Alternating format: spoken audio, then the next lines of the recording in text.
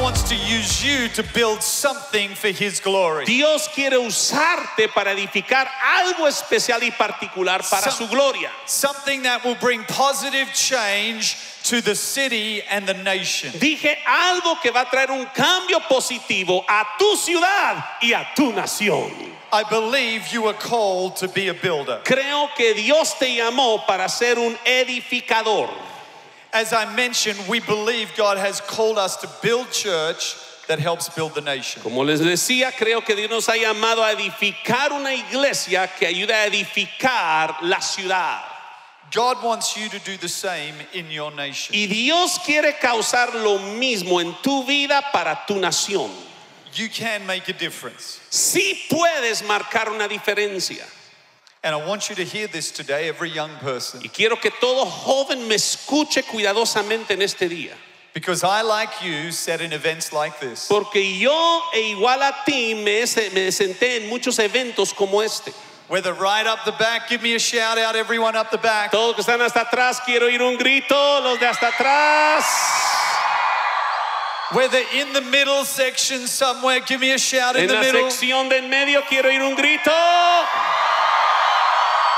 Whether right down the front, give me a shout, Aquí everyone down the front. quiero oír un grito.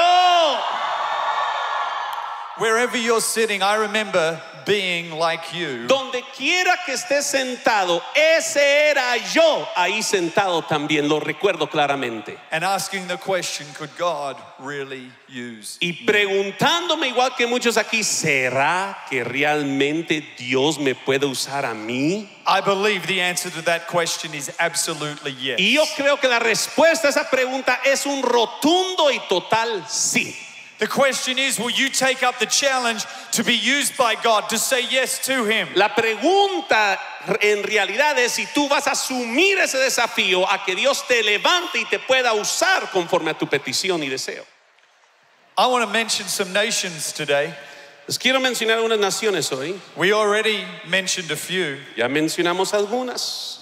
But when I mention your nation, I want you to show me how passionate you are about making a difference in your nation. Pero cuando yo mencione tu nación, quiero que me muestres cuán apasionado realmente estás para marcar una diferencia en tu país. Because God has not called us to live small lives. Porque Dios jamás nos llamó a llevar una vida de pequeñeces. God is a big God, Porque tenemos un Dios grande. and He's looking for people with a big Y vision. irán buscando a gente con visiones grandes. And when you start to believe God, Y cuando realmente empiezas a creerle a Dios, you start to have faith that God could use you, empiezas a entablar la fe que Dios realmente te puede usar a ti. then something significant changes in you, Y que algo significativo cambia en ti. And that causes you to bring about change in your world. Lo cual causa que produzcas el cambio en todo tu mundo y entorno. For some of you, God's going to give you a vision for your high school. Para algunos de ustedes, Dios les va a dar una nueva visión para alcanzar su bachillerato, for your university, para alcanzar su universidad. For your community, Alguien no me está oyendo, para alcanzar su comunidad, for your city. para alcanzar tu ciudad. It may start with one or two, Tal vez empiece con tan solo uno o dos, but many of you are going to be used to shape nations. pero varios de ustedes van a ser usados para sacudir y Does forjar a naciones. Anyone believe that here Habrá today? alguien que lo crea de todo corazón. So I want to see by your shout how committed, how full of faith you are for your nation. Entonces quiero ver a través de tu grito qué tan comprometido y lleno de fe estás por tu nación. Show me how passionate you are. Quiero ver tu nivel de Hang pasión on, en este hang lugar. on.